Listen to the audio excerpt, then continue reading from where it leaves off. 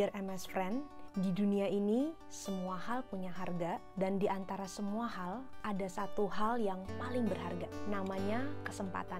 Ketika kesempatan masih ada, ia kelihatan gak berharga, tapi ketika ia sudah pergi, semua orang akan kesana kemari untuk mencarinya. Selama kita masih bernafas, kita masih punya kesempatan. Kesempatan untuk mencari dan mengenal Tuhan, kesempatan untuk menjadi berkat buat sesama, terutama keluarga kita, kesempatan untuk mengampuni mengasihi orang yang menyakiti kita, kesempatan untuk hidup seperti Tuhan Yesus hidup. Suatu hari kita nggak akan lagi bernafas. Saat itulah kesempatan kita akan pergi. Apabila ia sudah pergi, kemanapun kita cari, kita nggak akan menemukannya lagi. Jadi jangan sia-siakan kesempatan yang ada. Hidup hanya satu kali, mari kita gunakan dengan bijaksana. Tuhan berkati.